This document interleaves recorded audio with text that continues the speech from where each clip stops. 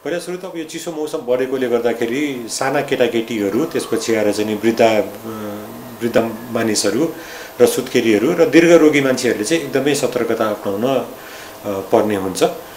किन भन्दाखेरि अब अहिले चाहिँ यो फ्लूको सिजन बढेसँगै अब कोभिड पनि छ र अलिकति फ्लूको सिजन पनि बढेको जस्तो छ।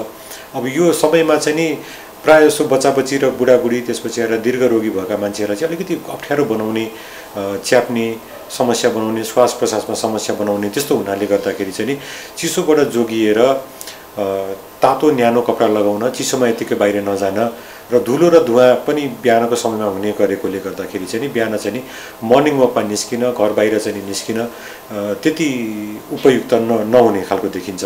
वात्सल्य नेचुरल आइभीएफ आधुनिक चिकित्सा उच्च सफलता दर अन्तर्राष्ट्रिय स्तरको उपचारद्वारा सन्तान प्राप्ति सम्भव छ। र अर्को कुरा भनेको सुत्केरी महिलाहरूले पनि अहिले चाहिँ नि धुलो धुवा चिसोहरूबाट चाहिँ नि अलिकति जोगिनुपर्ने हुन्छ कपडाहरू न्यानो लगाउनु पर्ने तातो अलिकति तातो झोल चिजहरू खानुपर्ने। र अर्को कुरा भनेको चाहिँ रुगा लागेको मान्छे रुगा खोकी लागेको कोही पनि त्यस्तो मान्छे छ भने उहाँहरूको सम्पर्कबाट चाहिँ अलिकति विशेष गरी टाढा बस्नुपर्ने हुन्छ। चाहे घरभित्रको कोही सदस्य होस् अथवा चाहिँ बाहिरको कोही सदस्य होस् रुगा खोकी लागेको मान्छेबाट चाहिँ नि टाढा बस्नुपर्छ। जसरी हामीले कोभिडमा गरिरहेको थियौँ अहिले यो इन्फ्लुएन्जाको यो फ्लूको लागि गर्ने पनि त्यही नै हो। र यो इन्फ्लुएन्जा सँगसँगै अहिले चाहिँ नि अब अरू पनि यो रेस्पिरेटरी सिन्साइटियल भाइरसहरू एडिनो भाइरसहरू राइनो भाइरसहरू जो चाहिँ नि बच्चा बच्चीमा एकदमै धेरै रुगा खोकी गराउँछ त्यो तिनीहरू पनि सक्रिय हुने बेला हो अहिले। त्यही भएर चाहिँ नि सबै सबै उमेर समुदायका बस्नलाई चाहिँ अहिले एकदमै जरुरी छ। विशेष गरी बालबच्चा त्यसपछि आएर वृद्ध मान्छेहरू र दीर्घरोगी भएका जस्तै किडनी सुगर प्रेसर मुटुको रोग बाथको रोग क्यान्सर अथवा चाहिँ न्युरोलोजिकल केही समस्या भएका मान्छेहरूले चाहिँ अझ विशेष गरी जोगिनुपर्ने हुन्छ र र अर्को कुरा भनेको जोगिने अर्को उत्तम उपाय भनेको चाहिँ नि हामीले भ्याक्सिन पनि लगाउनु पर्ने हुन्छ। अब यो नोभेम्बरमा चाहिँ नि टु थाउजन्ड ट्वेन्टी टूको लागि चाहिँ नयाँ इन्फ्लुएन्जाको भ्याक्सिन आउँदैछ। अहिलेसम्म सायद बजारमा आइसकेको छैन होला मलाई जहाँसम्म थाहा भएअनुसार।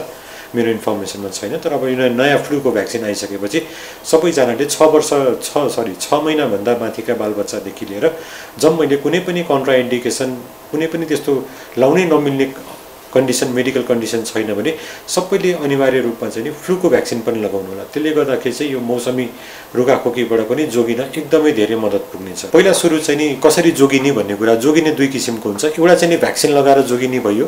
अर्को कुरा चाहिँ नि सामाजिक दूरी मेन्टेन गर्ने मास्क लगाउने जस्तो हामीले कोभिडमा गरिरहेको थियौँ त्यस्ता खालका आचरणहरूलाई चाहिँ नि प्रयोगमा ल्याइराख्ने रुगाखोकी लागेको मान्छेको नजिकै नजाने अलिकति टाढा बस्ने नाक हात मुख यो हातले चाहिँ नि नाक मुखहरू धेरै नचलाउने आँखा कानहरू नचलाउने र रुगाखोकी लागेको मान्छेबाट टाढा बस्ने न्यानो रहने झोलचिजहरू प्रशस्त मात्रामा पिउने धुलो धुवा चिसोबाट बचिराख्ने र अर्को चाहिँ नि भ्याक्सिन लगाउने। यही दुई माध्यमबाट चाहिँ हामी कोभिड होस् इन्फ्लुएन्जा होस् फ्लू होस् र अरू जुनसुकै पनि रुगाखोकीका भाइरस भाइरल रोगहरूबाट चाहिँ नि हामी यसरी नै जोगिने हो यो। अर्को कुरा चाहिँ नि जसले जसले चाहिँ नि कोभिडको भ्याक्सिन लगाइसक्नु भएको छ दुई दुई डोजै लगाइसक्नु भएको छ उहाँहरूले पनि इन्फ्लुएन्जाको भ्याक्सिन लगाउनलाई मिल्छ।